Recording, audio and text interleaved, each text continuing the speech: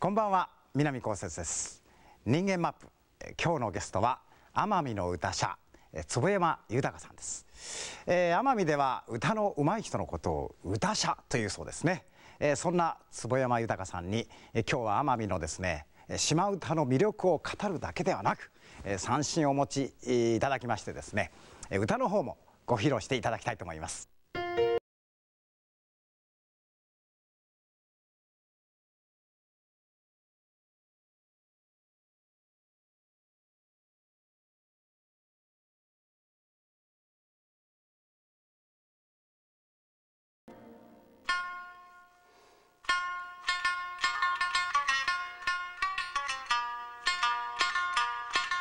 はやはぶ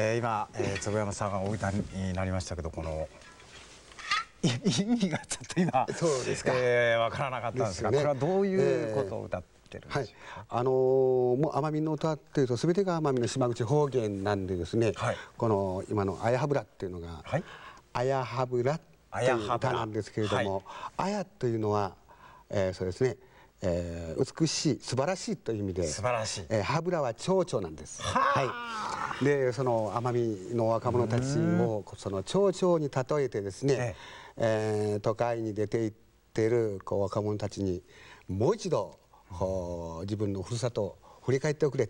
そしてできれば帰っておいで。待ってるからというそういう意味の歌なんです。はあ、そうですか。それがその蝶々に例えてこの素晴らしさをこう島の素晴らしさをこう歌ってる、あの僕たちも最近はあのよくあの、まあ、沖縄のね民謡っていうのもよく耳にこうするんですけれどもこの奄美の民謡との違いと言いましょうか。そうですね、ええ。ーもう極端に違ってるっていうのは、まず裏声を使うという意味ですね。裏声、えええー島唄の中のおーまあ4分の1ぐらいが裏声を使って歌われているというのが特徴で今す歌われた歌もそうなんです。あの裏声が出てきましたよね、はいええ出て、こえーれが出てます。沖縄民謡ととの違い。かなり決定的に違うところなんですかね。そうです。はあそうしますと奄美の歌者歌の上手い人っていうのはこの裏声が出ないことにはええ歌者になれないそうなんです。はい。こえれちょっと裏声のコツと言いましょうか。うんそうですね。あの裏声を出すというのは、はい。あーもうほとんどの方自然に出ているんですけれども、はい。ただ気がつかないだけなんです。例えばあの女たちがですね、ね。女の方あ女たちがあの台所で炊事をしますね、はい。い、ろんなこう洗い物をしますね、はいはい。その時に、えー口ずさむ声、あれは全部裏声なんですよ。女性の前。ええいや男もそうなんです。男も？そうなんです。だからあのうんとか言ってるええそれなんです。裏声でいい裏声なんです。そうですかねえただあ。の気づかないだけであって、ええ皆さんこうすべてが裏声です。ああじゃあだだ男性はどなたもその裏声を出せる素養はあるんだっていうありますあります。ああそうですか、僕らのあの子供の頃にあの和田博とマヒナスターズ、はい。誰よりも誰よりもとか歌ってたのを思い出します。ねあとあのハワイアンとかね、えええーヨーデルとか。そういうのが、はあのファルセットって裏声の印象としてあるんですけども、あそうですか。あとね僕の歌の中でもね今思うと裏声って結構あの「夢人よ」って歌があってね。ああ夢人よ。だからあの裏声をつお使いになる方の歌っていうのはすごくこうあのキーが高い歌でも歌えるというそういう点のは素晴らしいと思いますよね。いやでもこれはそう面白いこと聞きました、えー、裏声を歌あの出さ綺麗にファルセットを出せないと歌者にはなれないっていう奄美でございますけどまあ歌の中の命と申しますか裏声はですね、うん、なるほどね、はい、あのどうしてそのあの裏声が多いんでしょうかね。あそうですね、えー、やっぱりこう、えー、昔生活が昔はあまりと苦しい時代が長く続いていた。まあ、今はそんなにまでではないんですけれども、ええ。えー、やっぱりこう昔のじいさんばあさん祖先がですね、ええ、あの頃の生活状態を歌った苦しい表現と申しますか、うそういうのから一つ。もう一つはですねそれは苦しいからあの裏声出すと楽になるとかそういうことなんですか？そういうことじゃなくて、ええ、哀れさを出すという悲しさを出すという要するに 生活が苦しかったからそのものを表現するとまあ裏声になっていったということなんですか？そうですね。そして、はい、あのもう一つはですね、ええ、あの奄美の歌っていうのは女を下にした歌が多いんですよ。そして、えー、歌遊びいろんな歌遊びをした場合に女を女に合わせた 表現えー、チューニングします。女性に、はい、僕らもギター弾く時は、ね、あのコードでこうやって和音で押していく時に当然僕は男ですから男の音域でやりますよね。ね、えー、それが何？女性に合わせてしまうんですか？そうなんです。でだからこう女性、えー、女性に合わせた、ええ、あチューニング。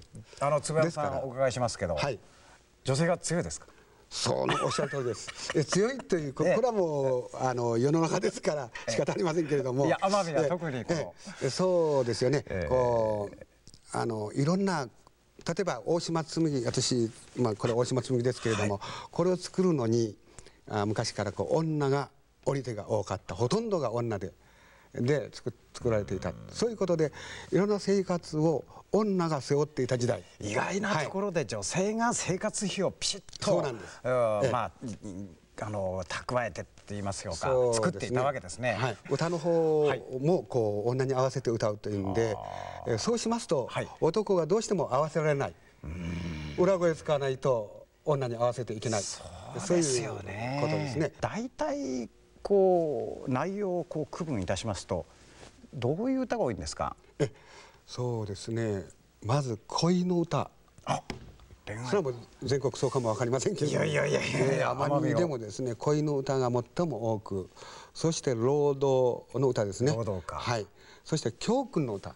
いろんな歌があります。そうですか、ええ、それはね今お伺いしただけでそれねフォークソングって別の言い方するとねフォークソングも元はというと恋愛か労働か、うん、それからそれに反戦歌っていうのもあるんですけどそれから教訓歌もありますね、だからそういうやっぱ歌の原点になるところっていうのは一応こう人々が暮らしていく中でその生活に根付いた歌っていうのがいっぱいあるわけですね。そうですね。でも特に恋愛歌が多いです、ええ。ー、が多いですね。やっぱりこう昔歌遊びというあの中でですね歌遊び、ええ、歌遊びの中ではそれはあの奄美島唄の原型ですけれども、うん、あの中では特にこう恋を歌った歌が多いですね。ええ、ちょちょっと気になりますね。歌遊びと言いますと具体的にどういうことを遊ぶわけですか？例えばですね即興性。まあ奄美の歌っていうのは即興性が多い。もうほとんどあのそうですけれども例えばあの南さんに対してすぐこう即興で歌う場合、あどんなのですか、ちょちょっとなんか今、ね、言葉としてはですね、あの南からですか？ちょっとこう、うん、引っかきましたが南からですか？北からですか、はい、でそしてあのすごくこうお巨羅男巨羅男、うんキャラっていうのは美しいってあ美しい、はい、男はあ南からですか、えー、北からですか？そういうのそれをメロディーにちょえー、ちょっといいですか？今即興で。どういうふうな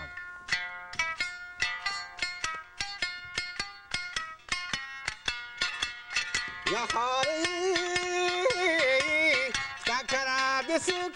南ですか？はいはいはい。すごく暗男ハリー北からです海だけのスーダーミアは他社南南降雪ですから腹キャラ男キャラ。でいいんですかキョラ。キョラキョラはいキョラ男。は間違いなくキョラ男という。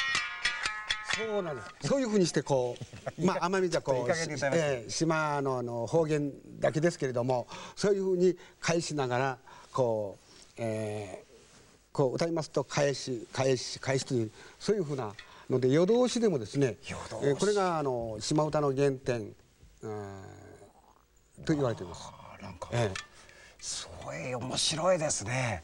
そしてあのどうでしょう坪山さん。これで男女でしかも自分の好きなね、ええ。この人だっていうお目当ての人が前来てこう歌うと、ええええ。あの例えば言葉の中でやっぱり面と向かって「あなた愛してます」とは言えないじゃないですか。ですもこれガーッと酒飲んええ。でタンタンタンタン言うと冗談の中にふっと本音言える時ありますよね。あのかしいもう面と向かって歌じゃなくして、あんた好きだから来年は、とは言えないしですね。昔は歌の中でこう掛け合いで、えーこうやっていたといううん今でもたまにはやっていますけれこれがども、歌遊びええそれが歌遊びです。はあ、楽しいですね。こういうのをなんかいつもこうやってたらですね、仕事が終わると、いや、ストレスなんかもなくなりますよね、これ。そうなんです。えええーいつも楽しみえーだったですからね。これがもう暮らしの中に、そのと昔はこういうあったわけですね。そうです。やっぱりこう奄美の歌っていうのは、あ生活から生まれて生活とともに今生きてるという歌が奄美の歌じゃないかと思いますね。はい。でこういうのを歌う場合と言いますと、今はじゃああの今現在でいうとどういう場が多いですかね？あのーそうですね。こうまあステージも多いんですけれども、例えばあの奄美でお祝いとか、はい。それからいろんな祭りとか。はい。人の集まるそういうバーとかですね、でそういう場所がたくさんありますね。あそうですか、はいだあの結婚式とえか、お祭りなんかでも、えーそうそうしますとやっぱり年配の方々はそのい歌遊びをこう、まあ、やってた経験の方が多いわけでしょうそうです。そうするとこう帰ってくるわけですね。そうですね。えーえそういうこういいですよ。島歌っていうのは。はいいいいいでしょうね。いつ頃からこのお歌をあ、始めたんえー、ですか？私はですね。私が父の歌っていうのは耳慣れ父はもう案外うまいという話を聞いてるんですけれども父が6歳に父と離れてですね別れてその時膝枕しながら聞いたのが私耳覚えがあってで本格的にやりだしたのは42からなんですけれども。はい。遅い。はい本当に遅い方 遅いけどもその前もびっくりですね。6歳の時にお父さんのえ膝枕えで枕で。お父さんが歌ってるのを聞いた記憶があるんですか？ありますあります。覚えてる？え覚えてます。そしてですねあのその長い間こう歌をしなかった時に、はい。まあたまたまあのこういろんな歌を聴きながらうんあまり感動する歌というのが聞こえんでですね。で、えーそれは40昭和47年の4月でしたがであの私の坂本豊蔵という右県まあ奄美群島の右県村というところに坂本豊蔵おという名手が名人がいらしてですね、はい。初めてこの坂本豊蔵さんの歌を聴いて、えー本当の歌がこれなんだ本当の奄美の歌が今今まで待っていた歌がこれなんだといううすごく感動ししましてですね。それ以来私島唄に、まあ、取りつかれというか、そそれがおいくつ？えそれが私島唄を始めるちょうど半年前ですから。42歳でいいんですか？そうです。それまではあの島唄にあまりこう、うん私の父の歌が耳に残ってるもんですから。ああ6歳の時にね、お父さんがここで歌ってくれたのが、あれが本当の奄美の歌だと思い込んでしまっているもんですから。他の音歌を聴いてもあまりこう、うん感動しない感動しないんですよ。ところがその坂本さんの歌があまりにも父の歌と似ていた、ええ。そういう点で、えーこうすごく感動しただろうと思いますね。自分でも。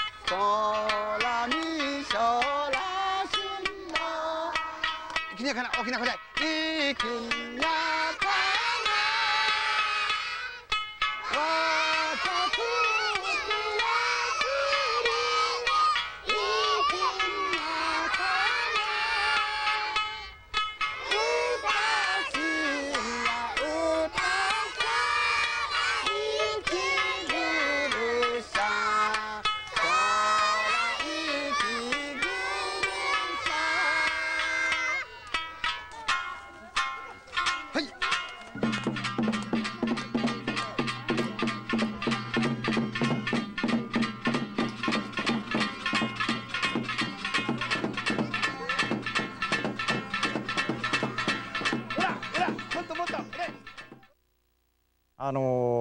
伺いしたらあの船えーのこうあの、ええ。船船細工ですかそうなんです。船を作られるんですね。はい。ええ。ー私船大工うーもう40年近くやってますけれども、でそれがちょうどこう奄美独特のですね、こう沖縄のサバニとよく似た船ですけれども、あれがあのおすごく自由に自分の感覚で自由に作れる船なんですよ。でということは設計図とかそういうのはそういうのはありません。あなくって、もう自分でその場でこう削り取りながら自由に作っていくっていう。そういうあそううん。ですか本当にこうまあ生活の知恵というか、はい。それをこううん船船作りにこうはめながらですね、でいろんな形で乗りやすく、うん、する。そして自由に好きなように島唄もそうなんですよ。あ同じええ島唄も島唄も自分の好きなように作れる。自由に作っていくということですか。はあその辺が私島唄の魅力私にしてみれば魅力魅力でございますね魅力と思いますね。と言われたあの遊び歌にも似たもうその場でええ詩を作りメロディーを作っていくっていうようなで坪山さんは何曲かもう自分でもそうやって曲を書かれてますよね。そうです。あの十五六ぐらいの島唄、新しい島唄、新民謡とは申しませんけれども、新新しいまあ新島唄という新島唄。昔のあの時代に作った生活 えと今作る島唄はどういうふうに違ってくるか、自然とこう旋律の中に違ってくると思うんですよ。あのーやっぱり歌が生活から生まれるということですね。坪山さんがあの、まあ、時代とともに新しい奄美の島唄があっていいんじゃないかって言われましたよね、えーそれでもその奄美の島唄ここだけは失わないでほしいっていうようなことはございますか？あそうですね。やっぱりこうあの昔祖先が作ってくれて残してくれた遺産なんで、遺産ですからこのあの伝承すべき部分はもう絶対伝承していかなければならないと。でそして、えーやっぱりこう時代に合った島唄を、あの作る。例えば今、えー例えば小学生とかああいう生徒さんが島の方言を使えないあの子どもたちにどうしてこう島唄をしてもらうかというと今の新しい島唄を旋律でちょっとこうあの興味を持たすという。それがあの昔古い民謡を残す伝承してもらう、まあ、あの前提としてですねそういうのをやっております。はい僕らでも僕も九州の田舎で育ちましたけどあの標準語といいましょうかあのテレビがこうまあ今日もテレビですけどこのテレビがやっぱり東京からこういっぱい送られてくるようになった頃にあのあの言葉遣いかっこいいなとか思いながらつい方言を使うと田舎もんってな感じでですねなんですね。入試があの方言がかっこ悪いみたいな感じですけど今またあの方言を使うあのパーソナリティ歌い手の人も随分いますしですね、あのやっぱり自分のふるさとはふるさとで見直していこうというような動きもあるようですね。そうですね、やっぱりこう私たち、まあ、大島でこう大事なのは今島の方言なんだということを言ってますけれども、えー全部こうふるさとというと、まあ、ふるさとの良さっていうと言葉、音楽。そしてまああのお父さんお母さんはもちろんですけれどもその山や川って言いますけれども私一番今大事に、えーえー復活していかなければならないというのは言葉と思いますね。なるほどね。なるほどなるほど。言葉ね。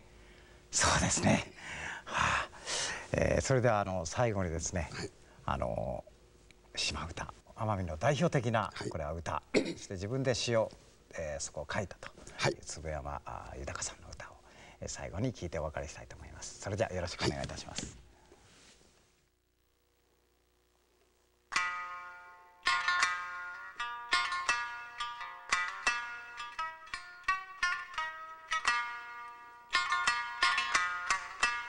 ハ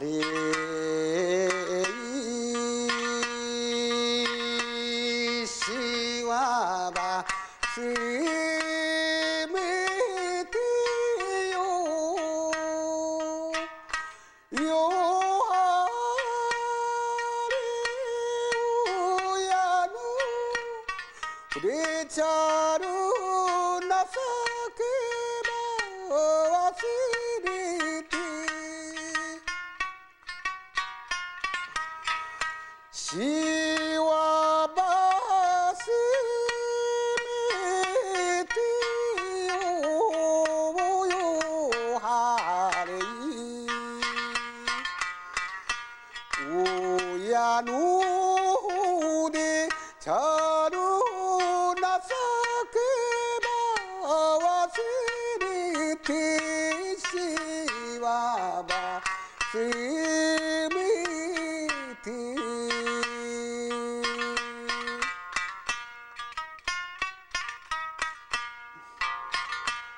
れ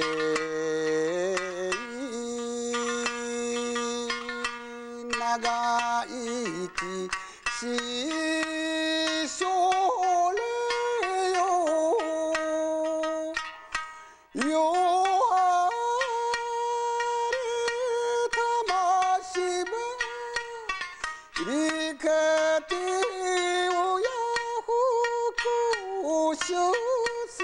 が。長生きししょれよ。晴れに。魂ば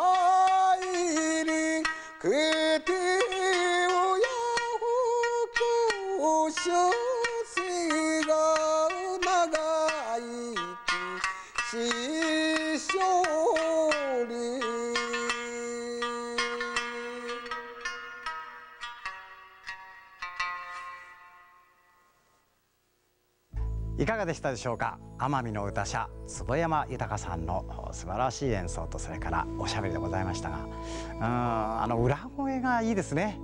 なんとも言えないですね、えーその理由は奄美は女性が強いから女性のキーに合わせるとこういう裏声になってしまうっていうね。女性が強い奄美に限ったことではありませんね。今や全国中女性が強いって感じがしますけど来年あたりヒット曲がみんな女性のキーになる。だ私も狙ってみたいと思います。それではまた次回お会いしたいと思います。